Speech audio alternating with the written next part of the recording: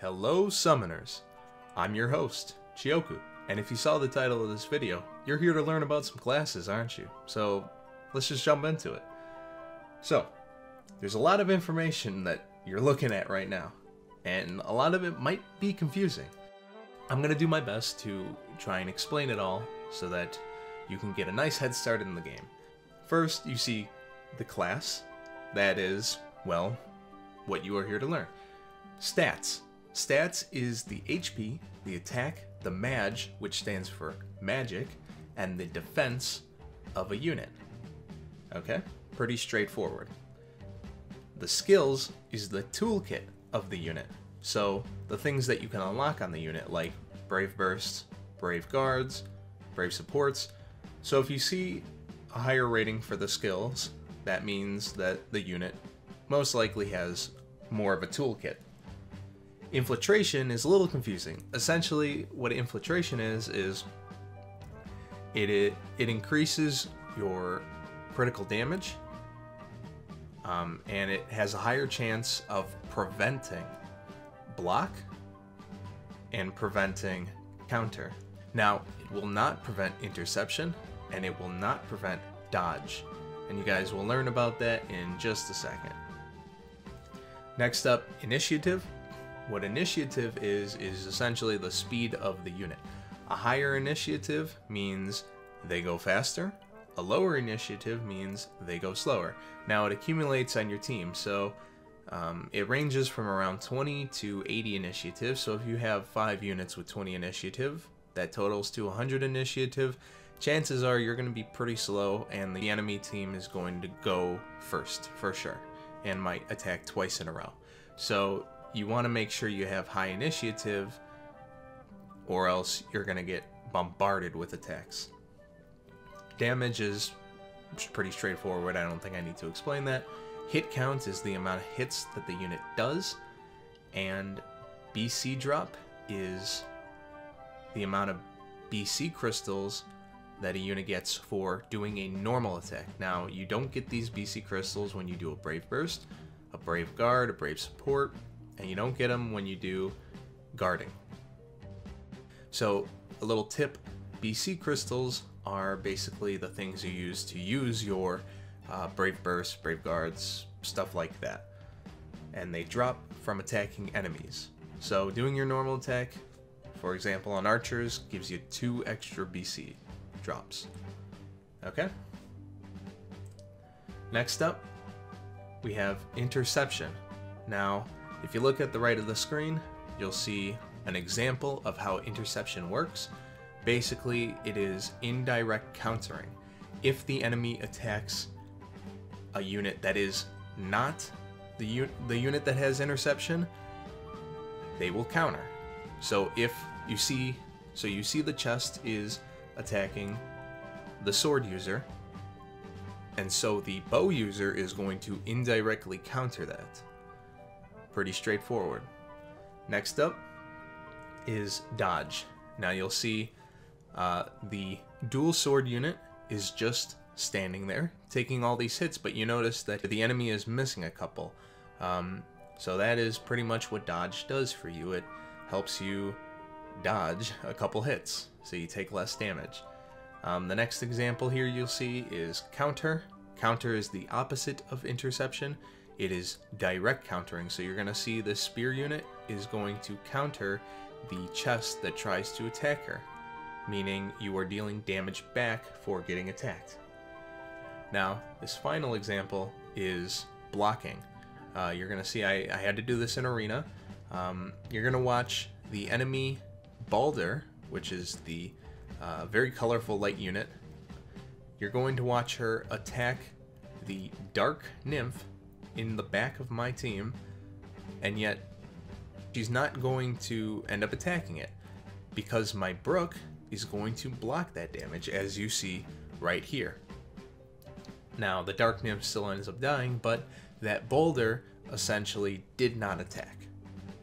So, blocking only works if the unit is in front of the unit getting attacked.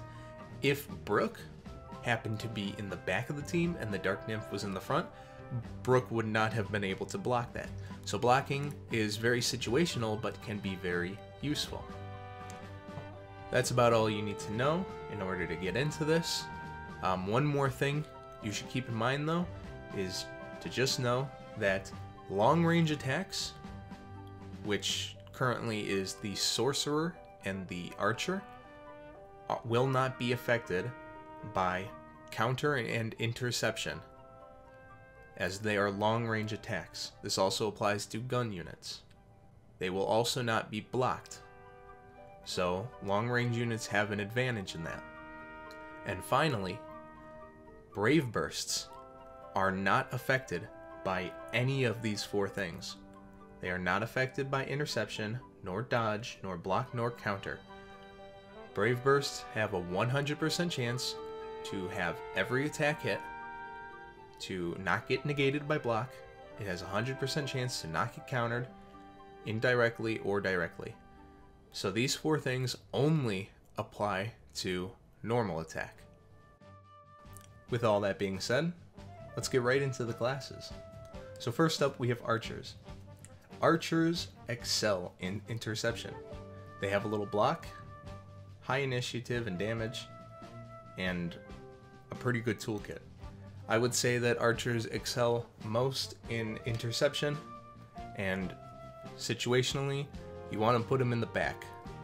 They are high damage dealers, but if targeted, can be taken out easily. Next up are warriors. They have incredible damage, the highest damage in the game. But it's compensated by their awful infiltration, incredibly low initiative, lowest in the game, pitiful BC drop rate, and a pretty low hit count. Now, they also have a high block rate and a pretty decent interception rate. So, my advice for you, if you want to use them situationally, um, they are much better offensively if you are going to use them in the front lines than the next unit we're going to, or the next class we're going to be talking about called the shield units or the guard units. Um, so you would definitely want to use them if you want to go for an offensive build, but you also need to guard the units in the back. So, like I said, next class is the shield units. Their stats are incredible, huge defense and huge HP. Their initiative is pretty eh, and their infiltration is awful, but they have a 100% block rate and a 40% interception rate. So if you want to go for a defensive build, definitely go with the shield units over the sword units because they have a much higher block rate than the sword units. They have way more HP and defense, but in return, they have lower attack. And by lower, I mean much lower attack. Next up is the Lancer unit. Um, Lancer units have pretty awful stats. They have a high interception rate, but their attack is honestly kind of average. And they have a pretty good counter rate as well as a block rate. They're all around units, but in my opinion, I would probably use them the least, as they're not very good in situations. Next up is the Gunslinger. Uh, the Gunslinger, just like the Lancer, is pretty eh. Uh, out of the three, I would definitely go with the Archer over Gunslinger or Lancers, as all three of these who excel in interception, the Archer just has the best toolkit and has the most attack, which is good for interception. However, gunslings, gunslingers still are pretty good units. Next up is the Swordmen. Now, honestly, I think the Swordsman is one of the best classes in the game right now. They have incredible initiative.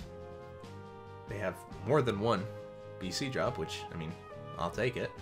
And then they have pretty decent interception, a very good dodge rate, and a pretty okay counter rate. Um, the fact that they have all three of those things, um, and they're all average, I'd say that's really good. Um, but then, on top of the fact that the swordsman units in the game right now are really good units, we got units like Krantz, Balder, Xion. These units are exceptional. They are very good units, and so that might be a little biased towards swordsman units, but Swordsman is right now one of the best classes in the game, and you will find them a lot in Arena, trust me. Next up is the Mage. Now the Mage is actually going to be outclassed soon by the new Sorcerer unit, and I'll go into that as soon as I get down there, but um, their stats are alright. They have high Mage, but, and you're mostly going to be using mages for their healing. You won't find much use for them in other circumstances, so if you find a mage unit who doesn't have healing, you're probably never going to use them. Uh, maybe one or two mage units who don't have healing might be useful, but other than that, yeah, they're only good for healing. Uh, just a quick note to add. Um, the one or two units that I'm referring to are units like Halloween Lucy or the Giant Murmur, who prioritize in their AoE magic attacks. They can do a lot of damage because of how much magic attack they have. Um, but really, the rest of the mage units are uh, healers, honestly. And if they're not healers, then they're just pointless units. Um, and so, again, with the sorcerer coming out, uh, who are most likely going to be better healers. Mage units are just going to be completely outclassed unless they are AoE damage dealers like Halloween Lucy. Anyway, next up is Duelist, or Dual Sword units. Um, they're pretty good. They are the most accurate when it comes to all-around stats. Um, with balanced stats, which are pretty good uh, balance initiative, balance damage, balance hit count, and balance block, counter, dodge, and interception. Everything about them is balanced. They're not bad, they're not good, they're balanced. Next up is Gunner. Um, Gunner, with the Gunner units in the game right now, it's a pretty good class. High damage, high hit count, um, good stats, good toolkit, and a high interception rate, which is great. Um, not much to say about the Gunner, just you'll most likely be using them more times than not. Next up is Ninja. Now, Ninja's kind of similar to the Gunner um, in terms of toolkit and skill set, but in all honesty, the two Ninja units that are in the game right now aren't really exceptional. They aren't really that great of units, nothing too special about them. So that is probably bias that is being put into this, but the ninja class just doesn't have the units to support it right now. Um, maybe in the future, ninjas will be better, but for right now, um, you will likely never see a ninja unit in the game. Or in Arena, sorry. Um, you might see the new free-to-play ninja unit just because it's free-to-play, but um, she ain't that good, honestly. Um, next up is the sorcerer that I was talking about. Now, this sor the sorcerer is just going to completely beat out mage when it comes to healing. Um, its magic is higher than that of a mage. Um, its skill set or toolkit is better than that of a mage, as shown with the stats right here. Its damage is 99, so it can hold up on its own. Its initiative is 50, which is great. Its hit count is 21, and its BC drop is only one less than a mage. And its interception rate is 40%. So, the interception rate doesn't really matter because it has to do with attack, and sorcerers excel in magic and not attack. But hey, I'll take it. I'll take it. Sorcerers have only one unit in the game right now, and she's not even released at the time of recording, but she will be tonight, and that is Alimo, which I love her, so this is going to be some bias, but um, as soon as Alima comes out and people get her, goodbye, Hannah. You're, you're rarely ever going to see Hannah anymore. Next up is the fist units, or the pugilist. You're never going to see someone say that, though. They're fist units. their stats are awful. their uh, skill set is, or their toolkit is pretty good. And their filtration is... But they excel in initiative. Their initiative is incredibly high. Their damage is pretty low, and their hit count is the highest in the game. Awesome. And they have a 1 BC drop. They're pretty low. Their interception, block, and dodge rate is pretty good. The dodge rate being the highest in the game at 20%. So you, they're going to be dodging a lot, essentially. Um, but really what this unit excel, excels at is initiative. And in all honesty, the swordsman units who also have an 80 initiative are kind of better than the fist units. So you're still going to be using fist units a lot just because of the incredible initiative and high dodge rate. Um, but it, when more units come in, into the game, uh, where you have the choice to use all swordsman units or all fist units, you're probably going to go with the swordsman units. Next up, and finally, is assassin or the dagger units. They have high damage, very high damage. Um, if you ever get an assassin unit and you put an AoE attack on them, um, you're making a huge mistake, as they do a lot of damage single targetly. That's not a word, but whatever. Um, their interception rate and block rate is okay, but nothing exceptional. And their toolkit is pretty low, but in all honesty, what I like about dagger units is the fact that you're really going to always be using them for normal attacks and Brave Burst, specifically single target Brave Burst, as they're just going to do a lot of damage. That's all there is to it. They do a lot of damage. Um, and they have a high hit count, meaning those who dodge are not really going to affect you that much, as only some of those 22 hits are going to be dodged. Um, whereas if you use an archer unit who only has one hit, well, that has a high chance of just completely negating all damage. So, that's about it for all the classes. Maybe some more classes will come out in the future, but as we stand right now, these are the classes. And yeah, now let's jump into uh, what I would like to call the final rating of all the classes. Well, if you made it this far, congratulations, and I hope you learned something. If you're still confused though on the whole subject of classes, I went and made two documents that could possibly help.